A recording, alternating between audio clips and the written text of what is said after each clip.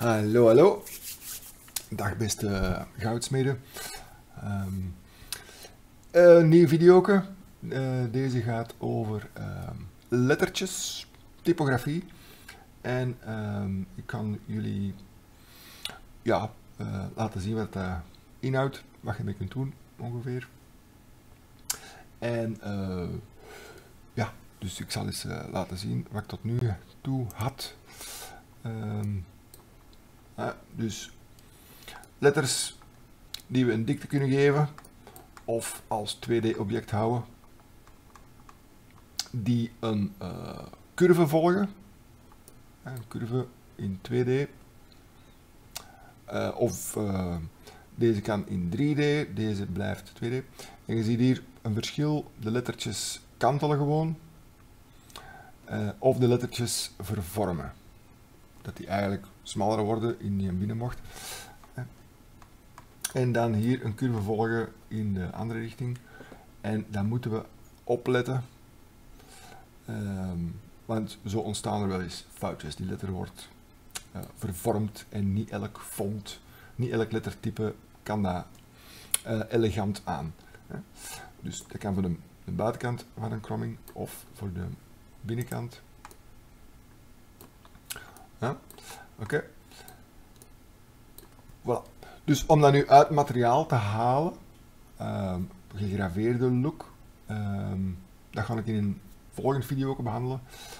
Um, ik kan ook algemeen uitleggen, dat hoeft niet per se met letters en karakters. Dat kan met allerlei objecten, dus ik kan dat in een andere video ook uh, tonen. Oké. Voilà, dus niet bewaard, maar oké, ik ga dit een nieuwe starten. Hè. En ik kan het uh, weer opnieuw opbouwen. Hè. Ik kan het niet bewaren. Nee, don't save. Wel, mijn startup zien. Ik zal mijn scherm wat groter zetten. Uh, Oké. En uh, we hebben die default cube. Hè. Dat doen we altijd. Delete. Hè. Er zijn er veel grapjes over. en ik wil tekst toevoegen. Dus ik doe add. Uh, en tekst staat er hierbij. Tekst. Klik. Uh, ik ga even toets 7 om in bovenaanzicht. En dat is mijn tekst. Voilà. En het eerste dat je wilt doen is natuurlijk de inhoud veranderen. Er staat nu het woordje tekst. Um, op de edit mode hier. Edit mode. Dan kan ook met een tabtoets, die twee pijltjes uh, aan, de, de linkerkant van het toetsenbord, kun je ook switchen tussen edit en object mode. Dus edit mode. En dan krijg je een cursor, een blauwe cursor. Voilà. Uh, typografie. Uitzoomen. Typografie. En dat zijn nu lettertjes. Uh, dat is een apart soort object, een tekstobject. Voilà. En dat tekstobject, hier krijg je een groene A.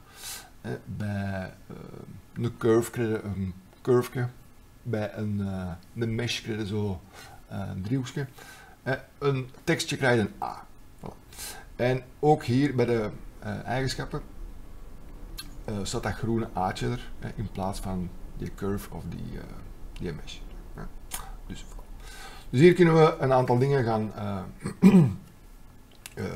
aanpassen. En om het verschil wat te laten zien, ik kan deze tekst kopiëren, shift D, dupliceren, sorry. Kan die verplaatsen in de i-richting. Voilà. Mooi erboven. En ik wil dat nu herhalen, dat commando. Dus dat is misschien wat advanced, maar met shift R herhaalde uw laatste commando. Shift repeat. Dus ik kan er een stuk of vijf. Dus ik heb nu vijf tekstobjectjes. Um, en ik kan een eerste laten zoals hem is. Um, de tweede. Eh, ik zal beginnen met het font. Het font. Dus die eens allemaal dichtklikken hier. Dat we zien wat er allemaal staat. Eh, paper model gaan jullie waarschijnlijk niet hebben. Je kunt het activeren. Dan kunnen zo papieren ontvouwingen maken. Uh, dat is tof. Maar jullie zullen dat waarschijnlijk niet geactiveerd hebben. We hebben shape, texture space, geometry, font, paragraph, textboxes en paper model bij mij en custom properties. Hè. Dus ik kan mij op um, geometry, font en paragraph uh, focussen. Uh, beginnen met geometry. Uh, sorry, ik begin met font. Font. Sorry, font. Um, en ik heb hier van boven regular B-font regular. Dus dat font is van Blender zelf. Dat is het Blender font. Um, en ik ga daar op dat mappetje klikken. En hij gaat, hij moet even laden. Dan kan ik ook laden. Um, hij gaat hier naar het fontmapje. En ik kan een ander lettertype kiezen. Hè. Voilà, Bauhaus. Open. Voilà, ik kan dat hier ook doen. Dat mappetje. En ik scroll maar willekeurig. Ik wil um, een paar heel strakke fonts en een paar uh, krullerige fonts. Brush script is krullerig. Dat is prima. Uh, ik had er nog zo van die gotische ergens hier. Parchment. En we hebben uh, de laatste, nog eens een strakke font. Voilà. Is een strakke. Oké.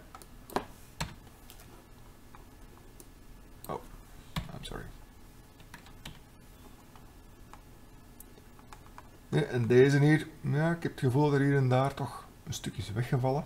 En dat ik hier die T niet helemaal zie.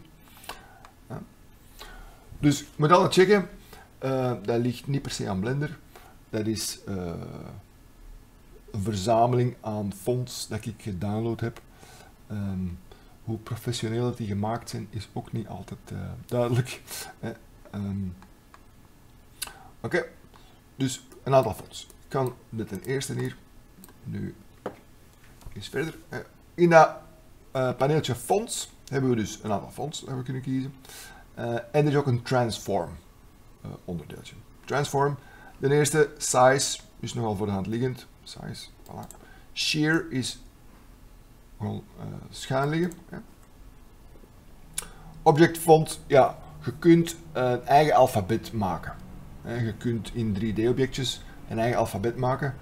Um, ik heb dat nog niet geprobeerd, maar uh, dat kan ook, hè, dat je je eigen lettertjes eerst in 3D maakt en dat je dat als alfabet gebruikt. Dan kun je ook typen wat je wilt in je eigen uh, font. Hè. Okay, dus dat is object font. Text on curve ga ik zelfs laten zien. Uh, dan kun je dus een curve gebruiken om je tekst te vormen. Underline position, het is geen underline tekst. Um, voilà. Small caps scale. Hè. De, we hebben geen small caps hier in deze font. Ja. Maar misschien zelfs. Oké, dus transform is dicht, zit onder font. Um, dan hebben we uh, paragraph.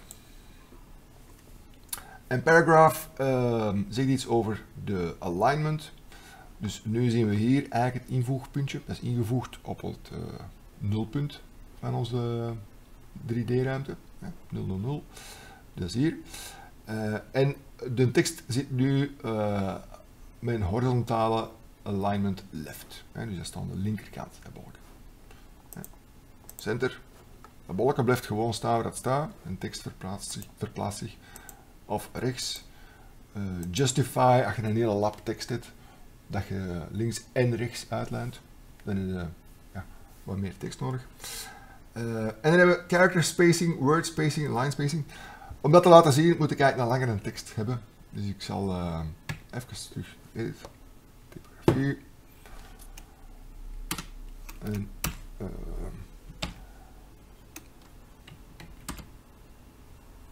is to cool. Uitroepteken. Oké, okay, typografie is to cool. Oké. Okay. Dus als ik nu die justify um, left en uh, right laat zien. Eh, dus iets dat verschil dat dat gecentreerd is. Oké. Uh, ik kan er aparte woordjes van maken, oké. En die dan een andere lettergrootte geven of zo. Ik heb nu één tekstje. Dus paragraaf spacing, character spacing, tussen die is to is een spatie. Uh, dat is tussen woorden. Word spacing. en line spacing. dus je kunt die helemaal in elkaar laten kruipen als je wilt.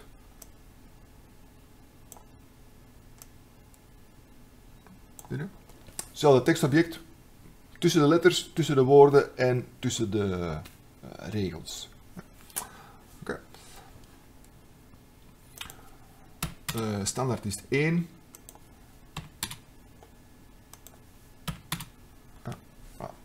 Dus um, dat is mijn uh, paragraafpaneeltje. Oké. En dan hebben we de geometry. De geometry, zoals bij een curve eigenlijk.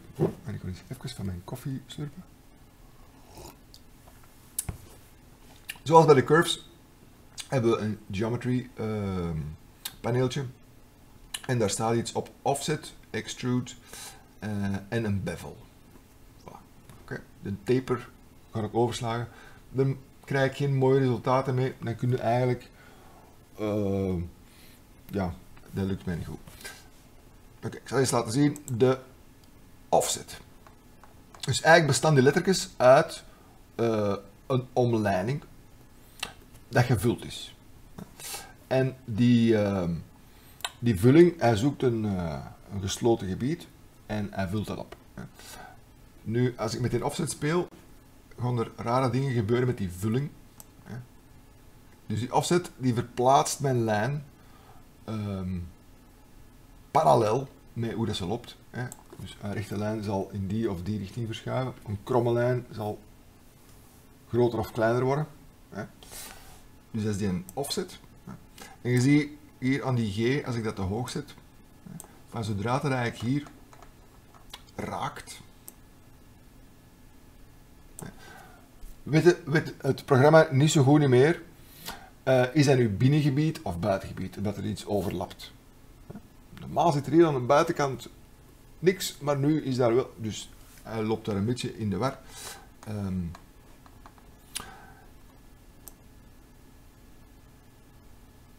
en als je dat te klein doet, krijg je dat ook. Hè?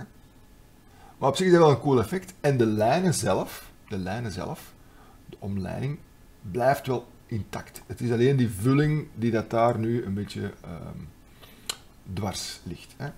Het, ziet er niet goed uit, maar eigenlijk onderliggend, die lijnen, die zijn er wel. Dus je kunt er wel iets mee doen als je wilt. Hè. Omzetten in een curve, naar, weet ik veel. Oké, dus dat is uh, offset.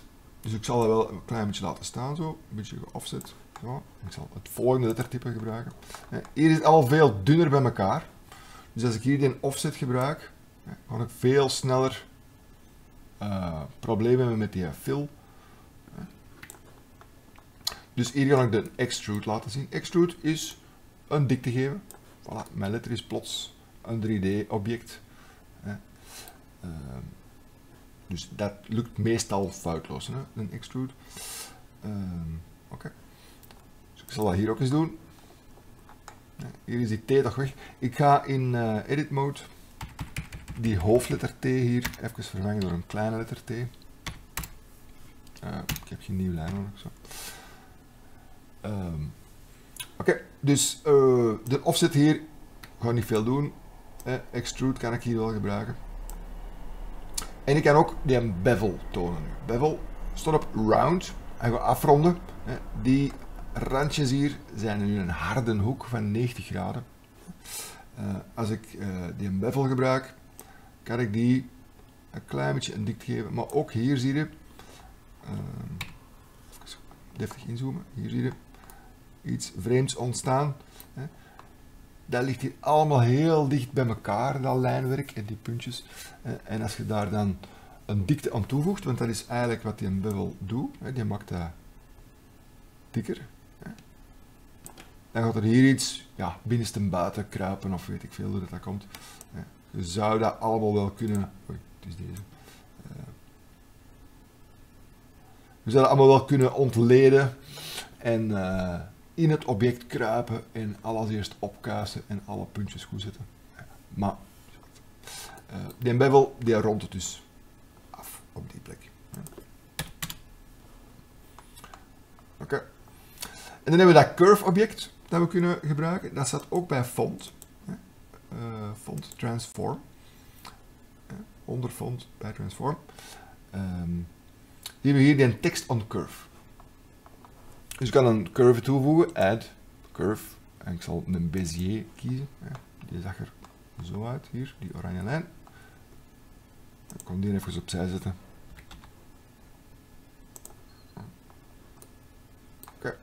Dus voor dit font uh, kies ik bij uh, font transform text on curve kies ik die Bezier curve. Wat is er gebeurd? Mijn tekst volgt nu die curve. Uh, ik zal die eens verplaatsen. Ik zal die in de buurt zetten daar. Dan zien wat er gebeurt. Oké. En nu om het effect duidelijkst te zien, als je zo een object selecteert, is er altijd ergens een klein oranje puntje. Dat is eigenlijk het oorsprongpunt van dat object. Dus die, die tekst heeft dat. Uh, die curve heeft dat ook. Dat zit hier in het midden. Um, ik kan die nu op elkaar leggen. Uh, dus dat invoegpunt van de curve ligt op 0, 0, 0, 0, 0. Ik kan hier dat ook op 0 zetten. Dan vallen die samen. En dan zie je eigenlijk uh, op welke manier dat die curve uh, mijn tekst beïnvloedt. Dus als ik die curve aanpas, ik selecteer de curve, edit mode, uh, ik selecteer de handle, ik roteer die en je ziet. En wat gebeurt er? De tekst is nu eigenlijk opgesplitst in de karaktertjes. En elk karakter volgt die curve. Dus de letter zelf vervormt niet, enkel de helling van die letter vervormt. Uh, en wat voor invloed heeft die curve nog? Dus als ik in edit mode bij de curve zit, heb ik hier bij item uh, die een radius en die een tilt. dus ik kon die curve twisten, zoals mijn kabeltje of mijn ketting. En ik kan die groter of kleiner maken. Dus ik kan eens zien wat dat doet en dat heeft geen effect. Dus bij deze manier van uh, uw tekst vervormen, uh, volgt hem enkel in 2D uw curve. Dus mijn object kan 3D zijn uiteraard. Ik kan daar even bevelen, uh, even extruden. Dus mijn tekst is 3D, maar de vervorming is 2D. Oké. Even die curve kopiëren. Shift D in de y-richting. Zoiets. Um, en ik kan nu bijvoorbeeld uh, deze tekst op een andere manier die curve laten volgen. Dus ik kan daar een modifier voor gebruiken. Dat is dat blauwe sleuteltje. Modifier deform deze keer. Deform curve. Oké. Dat is mijn uh, modifier. En ik moet nog zeggen welke curve. Dus ik kan met dat pipetje hierop staan. Hop. En je ziet hier, mijn tekst doet uh, gekke dingen. Uh, maar er is wel degelijk een vervorming gebeurd. Hè. Dus laat ik ook weer eens een klein beetje opkuisen. En uh, misschien dat ik deze even opzij zet. Ik kan dit opnieuw op nulpunt zetten. En ik kan dat met een deze ook doen. Ik zal deze gewoon verplaatsen. Hier. Dan zie je wat je doet. Dus mijn tekst volgt de curve, maar houdt rekening met de afstand tussen de curve en de tekst. De juist was dat niet. Um, ik dat verplaats, zie ik hier En de eigenlijke verplaatsing is als ik de tekst ook op 0 zet. Dan zie je eigenlijk dat een mooi die curve volgt op die plek als mijn oorsprongs, oorsprongpuntjes um, op dezelfde plaats zitten.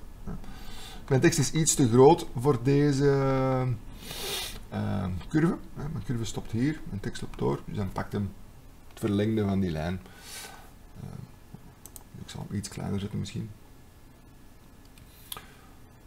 Uh, alhoewel, zelfs. zelfs. Oké. Dus nu ga ik eens zien wat voor invloed dat die curve heeft. Ja, in 2D Dus ik kan de curve in edit mode. Hè. In 2D is het gewoon, hij volgt uh, de curve. Hè. Als ik naar boven ga, volgt hem ook de curve. Dat was uh, bij deze anders. Dus als ik naar boven ga, de tekst blijft uh, plat liggen.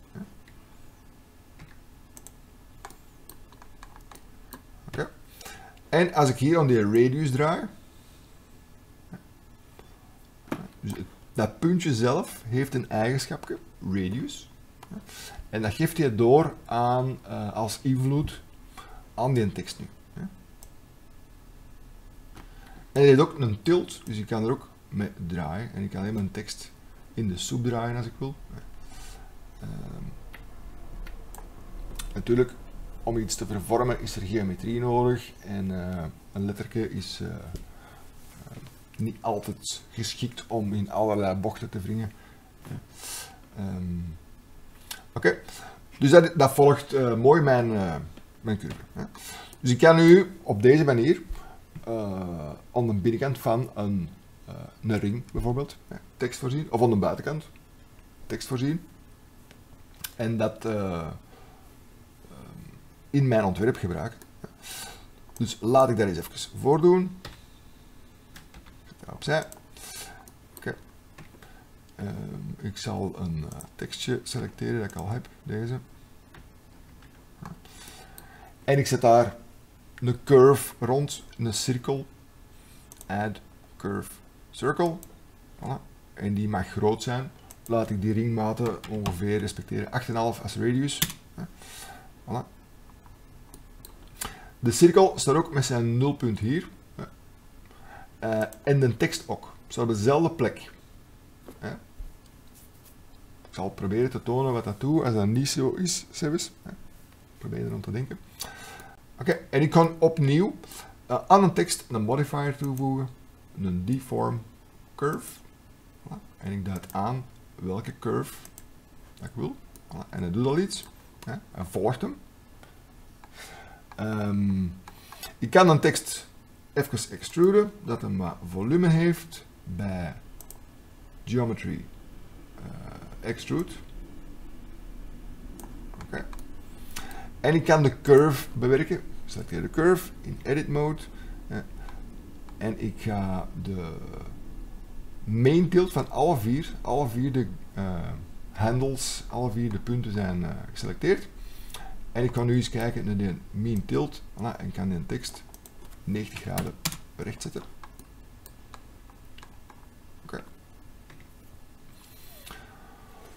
Voilà, en ik kan er ondertussen, dat blijft een tekstobject, ik kan dat font nog veranderen, ik kan die uh, extrude nog veranderen. Ik kan alles nog aanpassen. Het blijft een tekstobject. En um, het staat nu zo georiënteerd dat het voor de binnenkant van de ring is. Um, en dat kunnen we aanpassen als we willen in die modifier, op dat blauw sleuteltje, van de tekst. En volgt nu de x-as. En we gaan zien wat dat doet als je daar iets aan verandert. Als ik de y-as kies, als ik de z-as kies, als ik min x kies, en uh, min x zet mijn tekst nu precies in spiegelbeeld. Um, maar als ik dat nu combineer met een aangepaste uh, rotatie, dus ik ga opnieuw in edit mode in die curve en die tilt pas ik aan naar in dit geval 180 graden.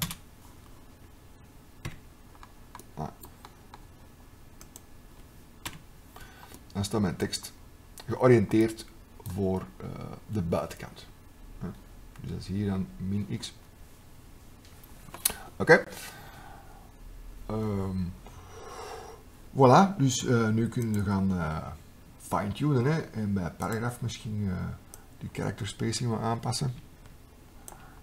Um, zeg maar iets. Een ander fontje kiezen.